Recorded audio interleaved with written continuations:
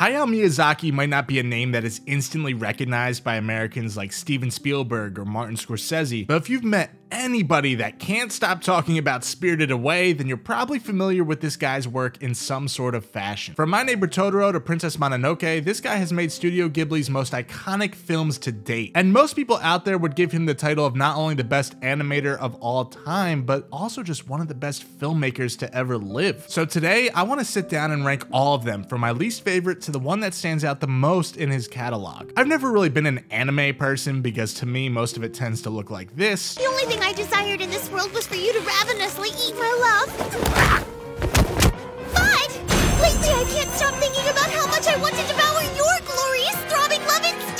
So keep that in mind as I talk about all of these movies. I'm no expert on the subject, but I do like pretty much every single movie in Miyazaki's body of work, and between everything on this list and Attack on Titan, I've been convinced to give certain anime films and shows a chance. So if you have any recommendations, be sure to comment them down below so I could add it to my never-ending watch list, or if you would like me to do a full-on Studio Ghibli ranked video eventually, let me know down below so that way I could start binging the rest of the studio's work. I will say this though, how you feel about one one of Miyazaki's movies will most likely determine how you feel about the rest of his movies. It's incredibly rare to find directors that are this consistent throughout their decades of work. So if one of these is one of your favorite movies of all time, chances are seven of the other ones are on your top 100 movies list as well. But if you have tried a couple of these and it's not really your cup of tea, I'd find it hard to believe that any one of these films would make you do a complete 180 on your opinion of this guy's style. But that's the beauty of finding and talking about movies. But to just get it out of the way now, the animation in every single one of these films is stunning in its own unique way. And I'm not gonna waste your time with repeating that point when it comes to talking about each of these. Also, I am somebody that prefers the dubs to watching it with subtitles, and if you think that is sacrilegious, I'm sorry that you get to miss out on some of the most stacked voice acting ensembles ever put to screen. Seriously, almost every single one of these has at least three incredible names attached to it. And how could you not want to hear Michael Keaton voice an anti-war pig who also happens to be the best pilot in Italy. I would never watch a dubbed version of anything live action, but for anime and especially Studio Ghibli, I don't know, it just feels like so much care is put into the English voiceovers that why would I not watch those? And with all of that out of the way, let's go through and rank all of the films of Hayao Miyazaki, starting with my least favorite. I had to put one movie on the bottom, okay? 極めて何か生命に対する侮辱を感じます I know the fan base for this is a dedicated one, and if this is your favorite Miyazaki film, I'm happy you enjoy it. But I have seen this twice now, and I do get the appeal, but that appeal is just really not for me. I would consider myself a science fiction fan, kind of. If a certain project is hitting for me, it hits hard. But when it feels like territory that is too familiar to a bunch of other things I've seen before, it takes a lot for me to sit through the entire thing. And for me, Nausicaa falls into that second category. Admittedly, the lore and the world building here is really solid, especially with that awesome opening sequence. And I do like the direness of the story with how dark it gets in the final act, but at the end of the day, this movie just bores the shit out of me. I really hate it when it feels like almost every other line a character says is some sort of exposition. And I think Nausicaa Nausicaa does that the most out of every movie on here. I mean, her entire first scene is just her talking out loud about every single thing we are seeing for the first time, and it's just really eye-rolling for me. And I know you need that kind of dialogue for kids movies, but this, along with most of Miyazaki's other work, is clearly not made for children. Even if Miyazaki himself has always said that his main goal at Studio Ghibli was to make good movies for kids. But Nausicaa and a couple other ones on this list, I wouldn't really qualify as great kids movies movies. I know Miyazaki is passionate about all life on this planet and dedicated this whole film to preserving the life of insects, but I'm sorry, I'm still gonna kill any mosquito that gets in my way. I hate how I have to put this so low on the list because I've always considered it to be a pretty underrated movie. Lupin III started off as a weekly manga series in Japan that eventually spawned a bunch of different animated television series and films for quite a few decades, and it just so happens that Miyazaki's first film was a Lupin III picture, The Castle of Cagliostro. Now this is the only Lupin piece of media I have consumed, so I don't know much about how this ranks within that franchise. What I do know is that this is a really fun movie. From the opening sequence sequence, you know you are in the hands of a passionate storyteller, and it remains consistently fun throughout the entire story. These main two characters are just so great to kill time with, and they give you the feeling you'd get after watching a Scooby-Doo movie, where the crew is so fun that you get the urge to go off and binge like four more of them that same day. But even though I do have a really good time with this one, I don't think it necessarily elevates to the levels that some of these later picks do. It's an incredibly basic story with your princess, mysterious lost castle, and all of the traps and little twists along the way, and there's nothing wrong with that at all. I'm just somebody that prefers getting a little bit more out of a movie most of the time. I also think that the two main heroes are so fun that they make every single other character seem like the most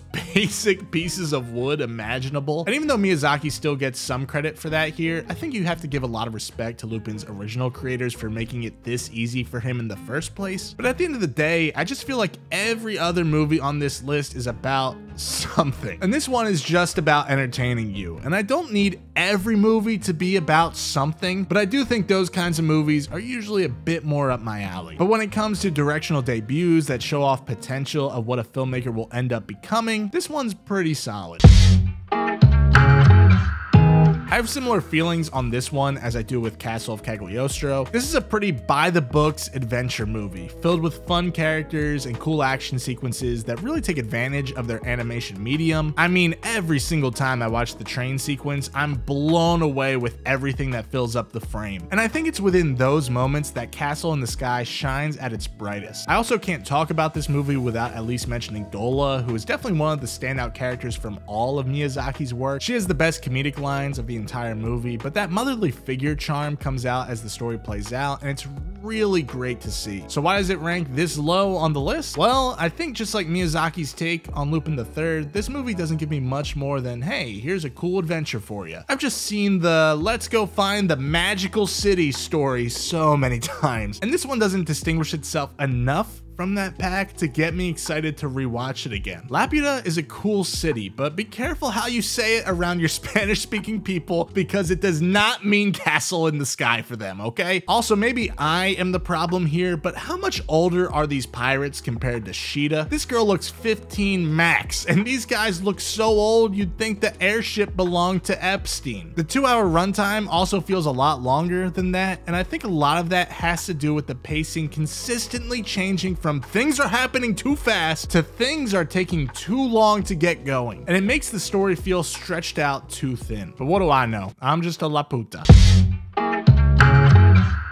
There might be some recency bias here, plus the fact that this is the only film on the entire list that I've only seen once, but The Boy and the Heron was a bit of a letdown for me. But that was close to not being the case at all, because the first act is possibly my favorite 30 minutes of Studio Ghibli filmmaking. There is such a dark nature to the way this thing opens that at times it felt like Miyazaki was going for a horror movie vibe or something. I mean, the heron has got to be one of the most original creature designs I have ever seen put to screen, and Robert Pattinson's voice work just adds a whole other layer to this fucked up looking thing. And until the story shifts gears and reveals what is actually going on, I was glued to the screen. But once these characters sink into the floor and go into their spirited away-esque world, I think the story sinks with it. It just feels like repeated territory of what we have experienced before in Miyazaki's other better work, while also going through story beats that don't feel as impactful at what was being set up in the first act. On paper, I love the fantasy idea of having a child build a connection with their parents at the same age as them. But between this and Petite Maman, I guess this type of story just doesn't work for me the same way it does for other people, even if I do prefer this film over that one. And while I am happy to be living in a world where Miyazaki is still making movies, I feel like The Wind Rises has a better final film feel to it compared to this one. I can see why some people would think this is the better send off with that baton pass type of ending, but I'll make my defense for his last final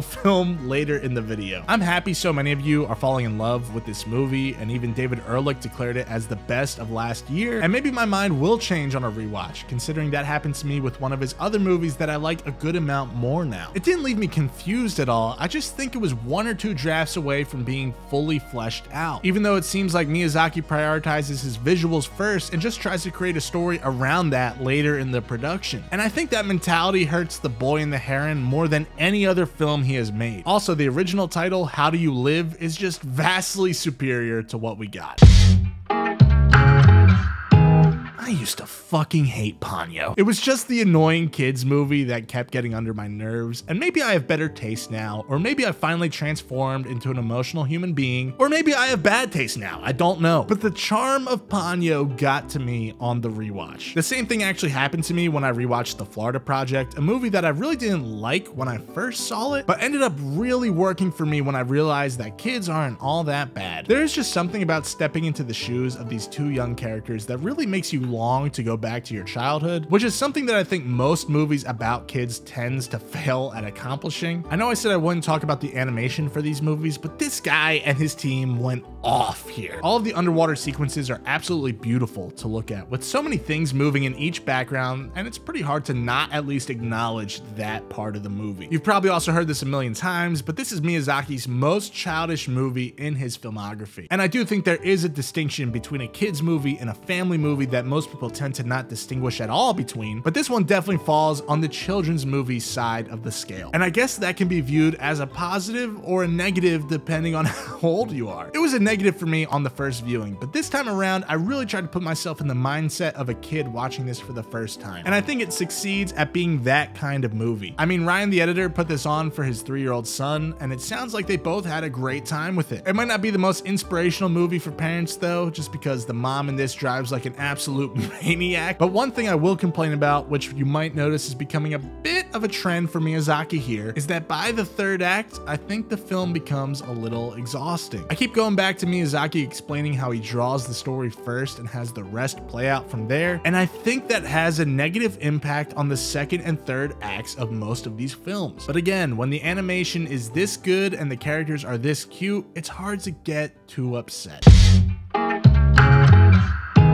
If there was an odd one out entry in Miyazaki's body of work, it would probably be The Wind Rises. You wouldn't expect the guy who made Ponyo to follow it up with a biopic about a chief aerospace engineer during World War II, but also this guy is obsessed with planes and grew up during the end of World War II. So I can see why he wanted to push himself out of his comfort zone for what was supposed to be his final, final film, because this was like his third time trying to retire. Miyazaki has been notorious for pushing the limits of his capabilities though, which is probably why so many people don't really like working for the guy. And I've never worked for him, so he could be the biggest asshole alive. But from the outside looking in, I have massive respect for a filmmaker or anybody in any profession who is obsessed with always one-upping themselves. And although I wouldn't consider The Wind Rises to be my favorite Miyazaki film, I do appreciate it for that exact reason. And I got into this a lot more on my second viewing. The reason I consider this to be a better retirement film than The Boy and the Heron is because of how that love of engineering can also be seen as Miyazaki's love for animation. It's about making consistent changes to something just to make it 1% better. It's about falling in love and balancing that new life with your career. It's about creating something that you find beautiful, even though it'll be used for mass destruction and not a single plane you worked on would come back from that war. I think the emotional moments hit so much harder here because of the animation. Like moments where that woman collapses on the hill just are ingrained in my head. With all of that being said though, I just don't love aerospace engineering the same way Miyazaki does. And while I can appreciate much of this story and its passion from its characters, there are a lot of conversations that just go over my head whenever they start talking about blueprints for their newest model. And I think for that reason, I'm never eager to give this one another rewatch. I wouldn't go far enough to call it boring, but I could see a lot of people feeling that way when you compare this to everything else we are talking about here. But when it hits, it hits pretty hard. And if you are really into planes, this is probably your favorite film of all time. Most would put this in their top three Miyazaki, and I could see the reasonings behind it. Princess Mononoke, more than any other film on this list, is the most anime movie here. In terms of the action that isn't afraid to shy away from gore and tackling a simple yet pretty adult storyline, in many ways this feels like the much better version of Nausicaa, with multiple factions fighting for what they believe is the right thing to do for humanity and destroying nature with every single decision they make in the process. You have a villain who's clearly not the good guy by by any means, but at the same time, there is enough context about her intentions that it makes her more complex than some of the other antagonists on this list. I already mentioned the upgrade in the violence here, and in that department, there are a lot of standout moments, specifically with this kid sniping off hands with his arrow or catching one arrow and shooting it right back. I know a lot of people have said that they should make a Zelda movie just like this, and that scene right there was enough to convince me. Even if Illumination will probably just get Jimmy Fallon to voice Toon Link. I also can't mention this movie without mentioning the score because it is beautiful. There is one track from Miyazaki's catalog that I prefer to every track on here, but if we were giving best score to one full album only, I think this one takes it. So with all that praise, why do I rank it this low on the list? Well, I just think the story is a little too bare bones for my taste. I think there is enough to keep somebody entertained for sure, but I don't think it stands out enough when it comes to the history of cinema, and this one ranks pretty high on any top 250 movies of all time list. And besides the villain, I don't find a single one of these characters to be all that interesting. They kind of just feel like NPCs you'd end up talking to in Ocarina of Time, and I never really bought any of the chemistry between anybody on screen the entire time. If this is your favorite movie of all time, don't get too upset. I've given more classic movies 3 out of 5 star ratings than I could count, and this is just one of them. And I promise my next pick won't piss you off. No, this is not my number one pick, and no, I am not joking. Most people consider this to be, objectively speaking, the best Hayao Miyazaki movie. Critics consider it one of the best of all time. Movie buffs often have it in their top 10 favorites ever list. And yeah, I think it's I think it's pretty good. I think I was caught up in a lot of the praise for this on my first viewing and said, yeah, Spirited Away is great. And I still liked it on a rewatch, but honestly, I mostly just get surface level enjoyment from this one. But I rank it as high as I do because of how interesting that surface level storytelling is. Visually, it is one of the most creative movies I have ever seen, and honestly, I ranked it this high because I cannot stress enough how original this movie looks. There are just so many cool creature and location designs that complement everything else in the frame perfectly, and I think the opening 15 minutes would scar me for life if I saw this when I was 6 years old. But from a storytelling perspective, I think the rest of the movie is just a little too basic, which I know you can say, well, don't you like hangout movies, Chase? Nothing happens in those. And yeah, there is truth to that. I don't need a super complex plot to make a movie one of my favorites, because my personal favorite of all time is still Dazed and Confused at the moment. And I'm going to sound like a broken record by this point, but I think this one loses steam the longer it goes on. Sure, there are scenes later on that are iconic, like the obvious train sequence, but the story just moves at such a snail-like pace that I feel like it would be a perfect 98 minute movie, instead of being dragged out longer than two hours. I don't want to sound like a hater because I do heavily respect this guy and his body of work, but I think Spirited Away and The Boy and the Heron have similar pros and cons that make me feel like I'm alone on an island while talking about the flaws in this guy's filmmaking, because he is inarguably one of the best to ever touch animation, but I just don't find him to be the best storyteller out there. Spirited Away is good, and if this is your favorite movie, you can write a three paragraph essay in the comments explaining why I'm wrong. That's totally cool. But for now, these are the four films that resonate with me a little bit more.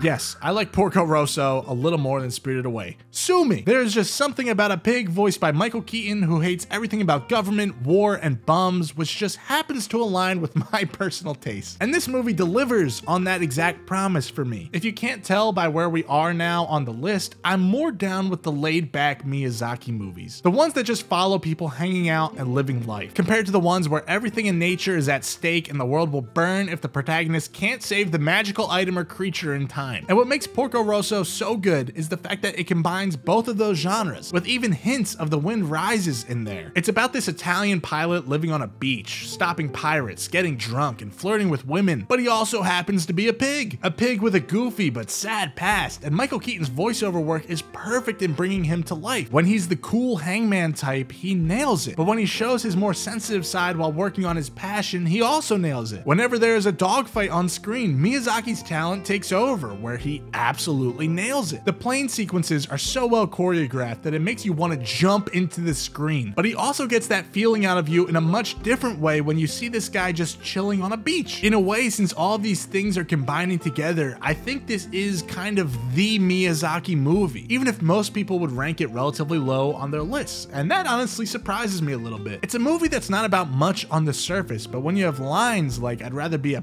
pig than a fascist, I get reminded why I'd rather throw this quick 93 minute movie on over most of the other Studio Ghibli films. And even though I don't think every Miyazaki ending sticks the landing, I don't think this one could have wrapped up any better.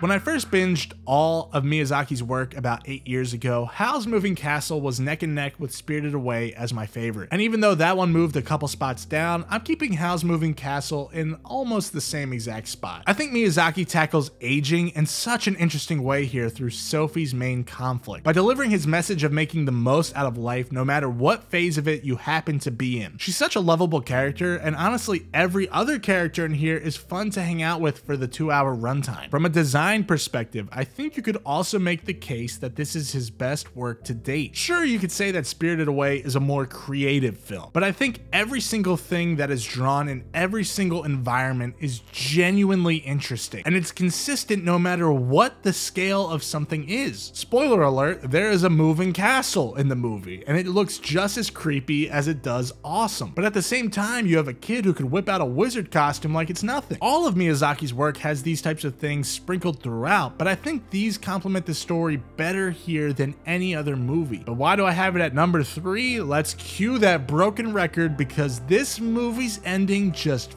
flat out sucks. Everything is wrapped up so quickly in the most perfect happy bow that you'd think the Snyder Cut would have dropped by now where all of the gaps are filled in. I guess it was 11.55 and Miyazaki couldn't miss the midnight deadline so he just banged that shit out and pressed upload. And like most of these other movies, I don't think it's just the ending because I think the second half once again starts to lose me a little bit. And I don't even know how that's possible considering this is one of the few movies he adapted from a book, but somehow he still manages to make it feel rushed. Some consider consider Howl's Moving Castle to be his best. I've seen some people call it his worst, and I've been switching this in my number two pick for a couple of weeks now. But after rewatching all of this guy's stuff, I feel pretty good with my upcoming choices.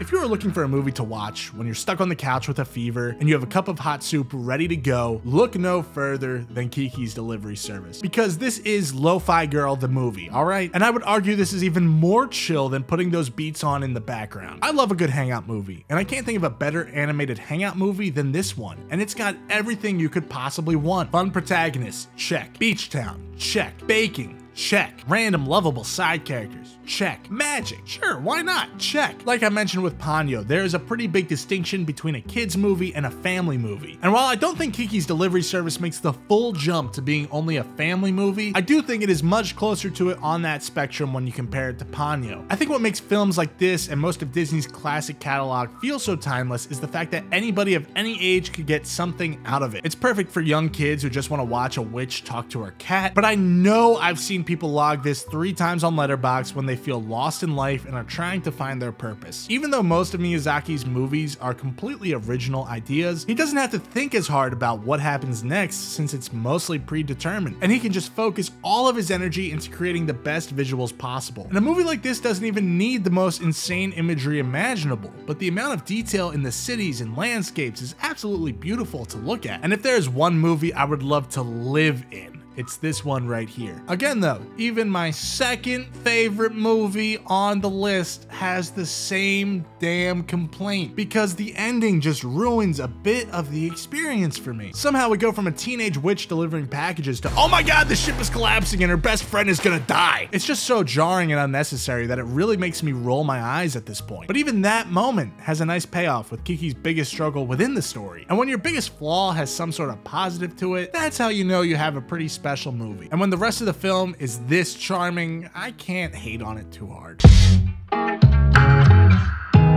Lot of people write this off as being Miyazaki's simplest movie, which I think proves the point as to why this is undeniably one of his best. It's deceptively simple on the surface, following these two sisters as they explore their brand new home and befriend the spirits of the forest. It's got all of the originality that is present in the rest of his movies, but it also has that slice of life hangout film vibe from Kiki's Delivery Service, which if you can't tell by now is one of my absolute favorite genres. But on a rewatch, I got so, so much more out of it than I did on my first viewing, which is not exactly how the rest of my rewatches for Miyazaki went. This is a story of grief, of how a parent keeps things afloat when the other is terminally ill, and how kids keep themselves occupied enough to not process what is going on outside of their own world. It's about how any figure, whether it be a parent, neighbor, or some huge furry monster, can step in during any moment of need and make a child feel protected from everything going on. It portrays how a kid reacts when they finally come to terms with what is going on, and how for them that is truly when they begin to come of age. Even if you don't pick those things up on the first viewing like me though, I think this still works as a lovable, turn your brain off and grab a cup of coffee movie. And it's easily one of Studio Ghibli's biggest triumphs. I mean, it's so iconic that Totoro is the damn Mickey Mouse for the studio. And I can't talk about this movie without mentioning Path of the Wind, which is not only the best track from any of Miyazaki's film scores, but also one of my absolute favorites ever. The amount of times I've had this song on loop while working is alarmingly high, but it just never gets old. It's so rare where we get a film that is perfect for anyone of any age, and it would be so easy for a movie like this to lean too heavy on the children's side of things in the same vein that Ponyo did, but I guess that's what makes this guy so popular in the first place. When I look back at all of these movies, it's not the most flashy, and that's what I love about it. Like I said, I think it's cool when movies try to be about something, but I heavily prefer a film that could hint at that point it's making in a much more subtle way, which is something Totoro does better than every other entry on the list. It is a trophy for animation and will be one of the flagships we will always look back on as being one of the best in the genre for a reason, even if the kids' voices get a little annoying in certain parts for me. So you might be thinking, well, Chase, is this guy in your Mount Rushmore of favorite living directors? And it seems like most other YouTubers covering this guy would make him the first entry on their Mount Rushmore, but if you can't tell, for me, he's not even close. At least not now. And that's okay, because you know how many incredible filmmakers there are out there? We all have different taste, which is why it's so fun for me to listen to bigger fans of Miyazaki talk about his work. And visually, he is undeniably one of the best artists we have. And although filmmaking is inherently visual, it's not the thing that makes a film compelling for me. Because personally, it's not how beautiful your images are, but how those images help tell an amazing story. Yeah, all of these films are incredible to look at, but so many of them feel like they rush through plot points or avoid fully developing certain characters at the expense of drawing something cool. So although I can call this guy one of the best animators I have ever witnessed, I probably wouldn't put him in my top 25 favorite directors list. But that doesn't mean he can't be one of yours. I'm so happy that so many of you would put him in your Mount Rushmore of favorite filmmakers, and that his work inspires you to create within your own life. As somebody who doesn't smoke and throw on colorful movies, there's only so many times I could be like, there's another plane, oh shit, here comes the enemy airship, or I agree, we are ruining our planet, and yep, war is definitely bad. I agree with you, Miyazaki. But maybe when I rewatch all of these movies in 10 years, he will end up being one of my all time favorite directors. So give me a decade, and I'll let you know if my thoughts change. Thank you guys so much for watching. I appreciate it as always. Uh, this one was a bit shorter than the Nolan and Scorsese one, uh, just because I didn't have as much to say. And that's okay. That's going to happen with certain directors because I just overall love doing these videos the most because going through a whole director's filmography, it's just something I enjoy. Shout out to Ryan for editing this video. He waited extra long for me to get him the script, I heavily appreciate him for that. If you made this point of the video, clearly this guy is talented at editing it, so you should give him a follow, request work. If you need someone to help you with editing, Ryan is the man. His stuff is right here. If you like the video, be sure to like the video. If you dislike the video because of my opinions, it's okay. We could argue, but I'd rather just talk about it. You know what I mean? Like I said, I like this guy. I like his work. It's just not my favorite, and that's okay. But if you like my director reviews and how I go in depth on a director's work, be sure to subscribe so you don't miss any of the future ones for this year. We got a lot of them coming. Next up, we have David Fincher, who, again, David Fincher, Scorsese, Miyazaki, all these videos were supposed to come out a while ago. They take way way longer than I ever thought they would, but we are already getting that started. So that one will be coming out relatively soon. So subscribe so you don't miss that one. Comment down below what is your ranking of Miyazaki? What's your favorite? What's your least favorite? That's my favorite part of doing these videos, you know, seeing how other people's lists compare because it's very rare you'll get 100% of the same list as somebody else. And I think that's what's cool about talking about movies in the first place. And I guess that's it. So thank you guys so much again for watching as always, and I hope you have an awesome day.